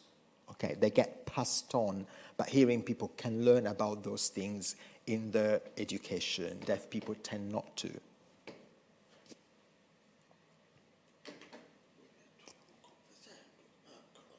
So this leads to the conversation about colonialism, our identity being colonized, uh, and uh, how the information that we receive, the, the ideas that we have is externally controlled, okay, the lack of independence of some individuals within the deaf community.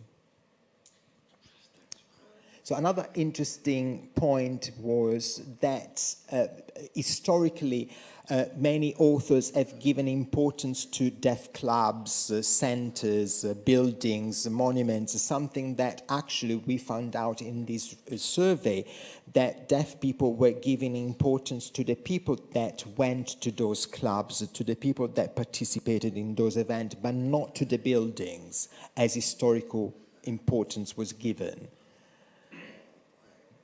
And also the, the value of the people that, and were more, uh, and, and, regardless of their status as well. So people were considered e equally to some extent.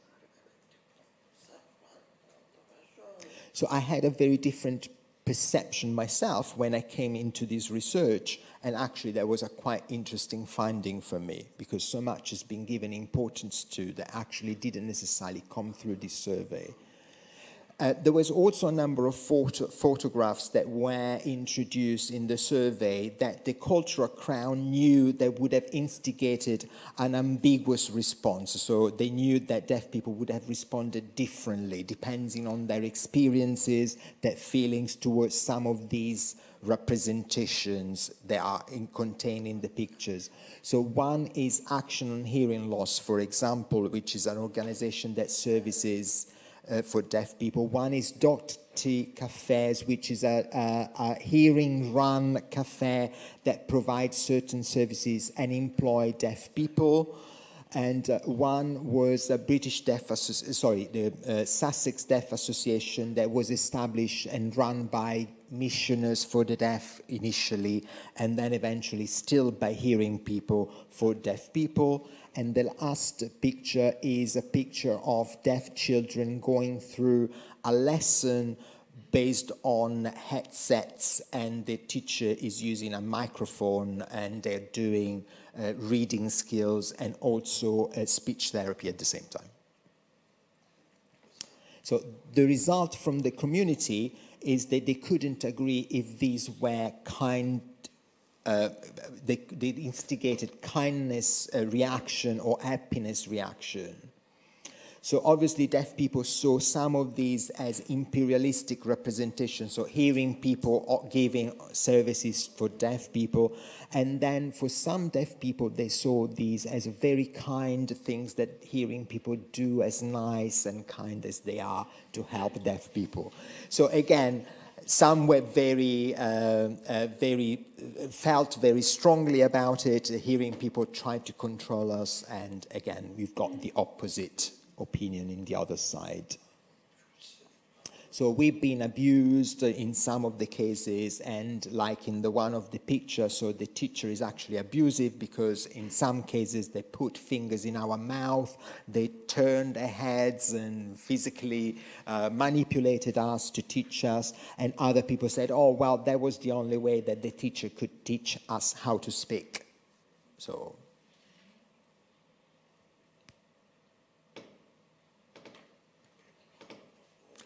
So again, the uh, picture at the moment is again the one uh, about uh, the deaf education. And we do have uh, the response for deaf people is virtually four, which is the medium, but actually the hearing people responded that they were slightly more against, so in disagreement, so this not, it was not unhappy picture for the view of the hearing people within the deaf community.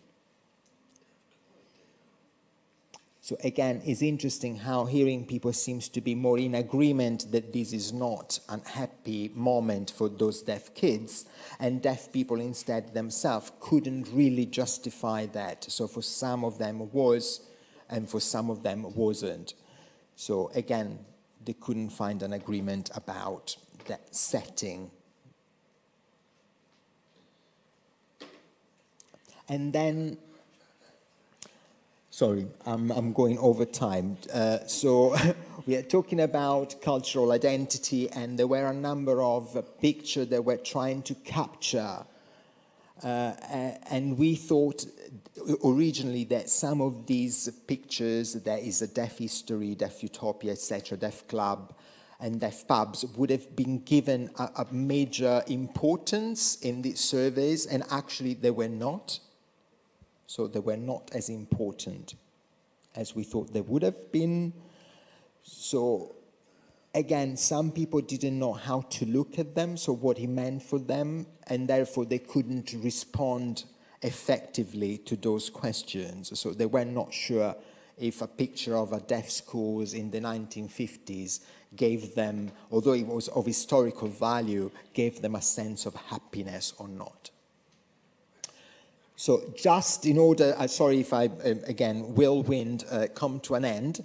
So just to say what uh, my uh, response to this is, is that there is obviously a sphere of reach that deaf people within the deaf community might or might not have, or it might be more larger than others for some of them, okay?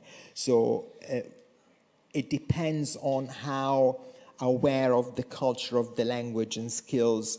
And this could go from the neighborhood, meaning the people that go to their clubs and then home, etc., people that can navigate the cities, people that can participate at regional level, at national level, or even at global diaspora, so internationally.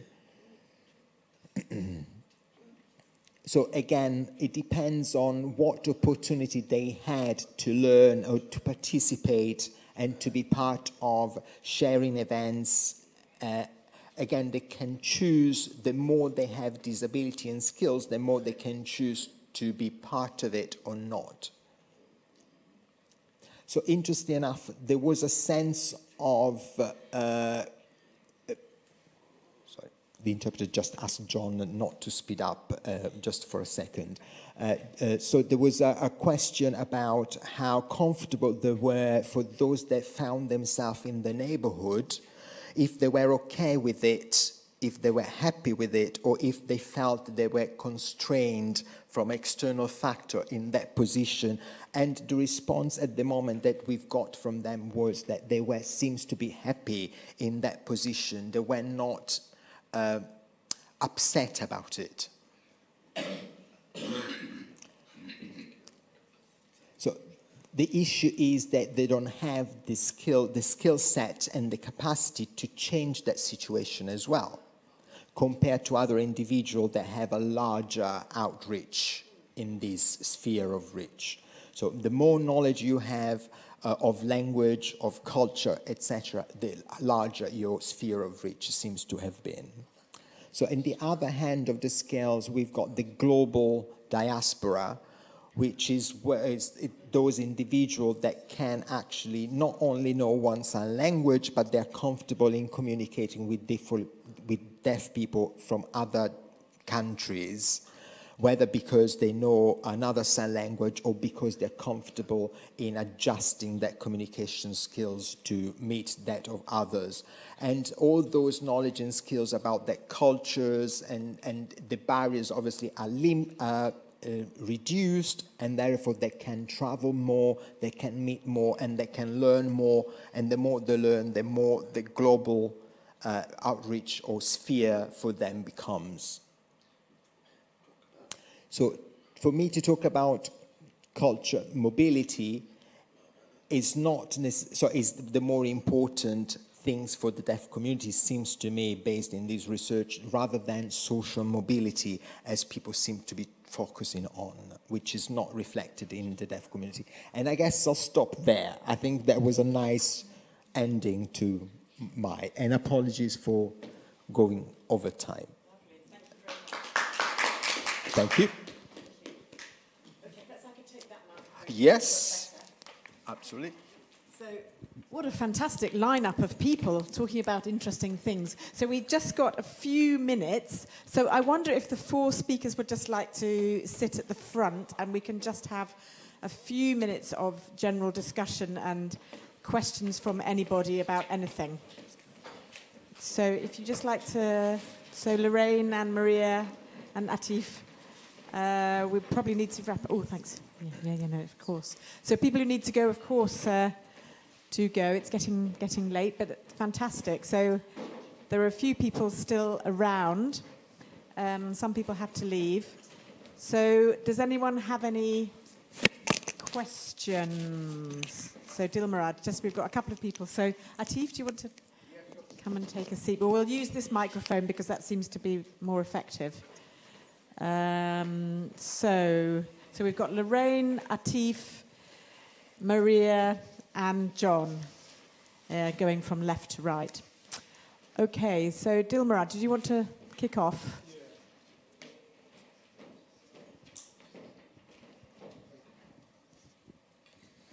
Um, thank you very much. Uh, I, I, just wanted to say thanks to John, and I really loved the, the way he did the research.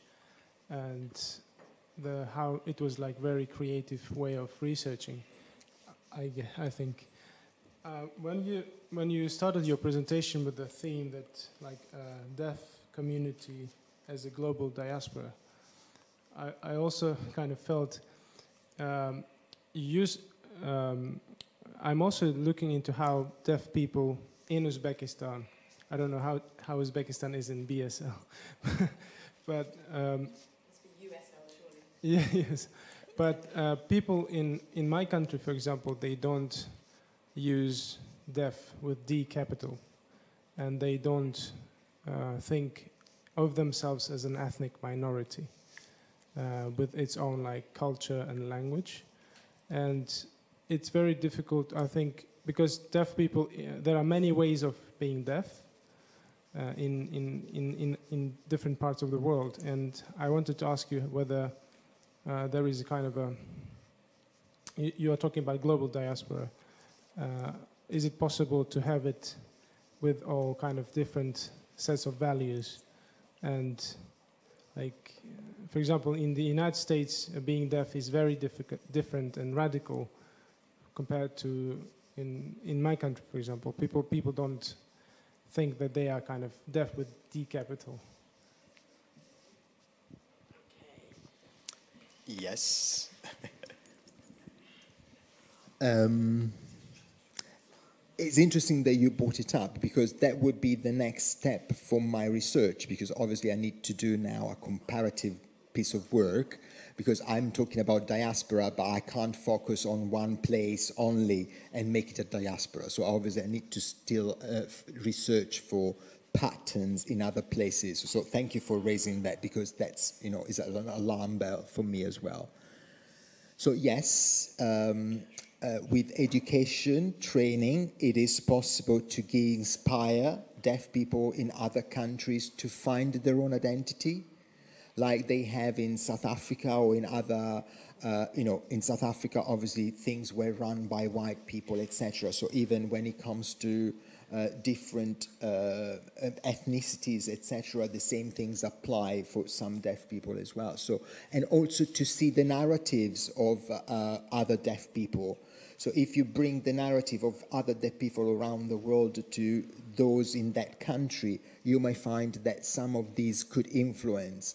The problem is that sometimes the problem is that sometimes in certain countries who have made decision for them is not themselves. Okay, lady in the stripy jumper. Here comes the microphone for you. Okay. okay, so my question goes to Maria. Um, so I don't know if, if you covered that in the whole presentation, but I um, just like a follow up to the question, um, the question someone asked about the reasons why some of the children died, and you mentioned malnutrition, and then also that that kind of like related to poverty. Um, I was wondering, apart from creating a space for the caregivers to, like creating a support system for the caregivers, the, the program you do kind of like address the economic empowerment of these caregivers as well because I feel like that's also really important. You know, so like did the project by any means try to help the caregivers economically to be empowered, so which would kind of also feed into them being able to provide better nutrition and healthcare and all that for the children. Yeah. Good question. Uh, thanks. So the straight answer is no, um, but it is um, a key issue that uh, is a priority for the group. I mean, one of the the program wanted to strengthen linkages. So um, if it was run in the upper east of Ghana, it was embedded within a C. There was a CBR program going on with some livelihoods work. So the the women were supposed to be linked into those programs. Um, I don't think that really happened. Um, it's not something that we evaluated, but um, from the qualitative, we didn't really see that happen. In other, in other areas, it was part of inclusive primary care. The program ran within a attached to inclusive primary health care program, so there was no livelihoods component. So it is a massive issue, um, and it's a priority for us at the moment to look at how that can be addressed better. So thank you for that. Any other? Oh, yes. Hi, Hi hello. Um, my name is Matthew from the I'm an MA student here um, with uh, Power Participation and Social Change. Uh, my question is regarding data collection and um, how the, my concern, I guess, is in regards to the SDGs and how in 2030 we're going to assess the success of our um, tackling issues in regard to disability if we're not uh, if we're not collecting the data on people with disability. Um, just an open question, really, to the panel. Really. Uh, not a question, really, just a discussion point.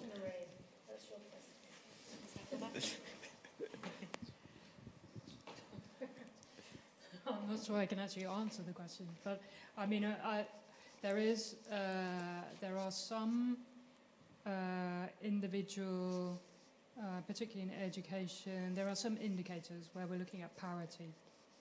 But so in terms of education outcomes, in terms of um, equality, in terms of um, access, some access. Um, but I mean, if we think about how long the SDGs have now been in action, we're still debating what the what the particular um, things that we're supposed to be tracking will actually look like. So we've already lost however many years. Um, I think there is at least uh, some um, awareness now, and governments like our government, DFID, is pushing for more individual programs and projects to be accountable. And I think the UN just has launched its new strategy. Um, so we've got we've got pockets of potentially influential agencies, um, some governments as well. It, it's it's sort of slowly becoming more obvious that we need to track these things. The exact details of what we're tracking, though, is still you know to be decided. Dot dot dot. Um, but at least people are talking about it, and that's that's new.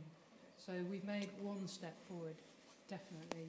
Um, I think also it's just about getting out, talking about it, making sure that we are asking questions and spreading, you know, the knowledge and just, just asking people um, to disaggregate as much as possible.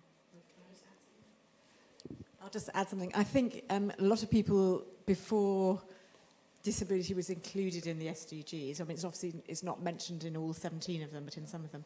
If you point out to people that some of the goals are not going to be able to, going to be met because of disabled people not getting what they need. People are quite shocked. So if you say, you know, you can't, you can have a goal about all children and being in school and the biggest group of children who are not in school are disabled children, then people look quite shocked and they go, oh, I didn't know that was the... So that goal is going to fail because the disabled children aren't, aren't in school. So if you put it like that and you start to get a bit of traction from people. Um, but also, we were talking before this seminar started about DFID and how DFID are now putting a disability aspect into every program that they fund. And so that's making people sit up and think. It's giving us more work to do, actually, because, you know, but, you know, whereas they now automatically put a gender aspect into everything and nobody would question that. Now, for, you know, if they're doing a project on water and sanitation, they put a disability aspect. We're suddenly getting calls from people saying, we are doing this water and sanitation thing and we've got to do disability. W- can you help us? You know, so, and of course it shouldn't, it shouldn't be a specific disabilities team to do that, but that there's a transition stage where we need to help people to make that. So, it, you know, it's happening slowly but surely. So we can use it as a mechanism to actually raise awareness. It's not Yeah. it's like a means rather than end. Yeah, yeah, exactly, exactly. We'd like to put ourselves out of business, really, you know, if the whole world was inclusive. Yes.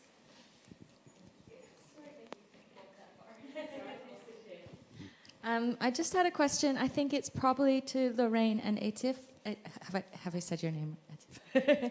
Um, as far as accessible online surveys or universally accessible online surveys, I mean, I've never been able to fill out an NS uh, National Student Survey or a staff survey or any of these things, and most of my my disabled peers have never been able to either because they're not accessible with disability software. They're not in Braille. You can't do them over the phone. All these sorts of things. Um, does one exist? Because if you know the higher education authority can't get it right, do we even have one? Atif, is that for you? Yeah, I mean, I, I don't, I don't think there's one document. I did, there isn't a system. Um, I mean, I'd, I'd be up for really hearing that, and I'd be stunned.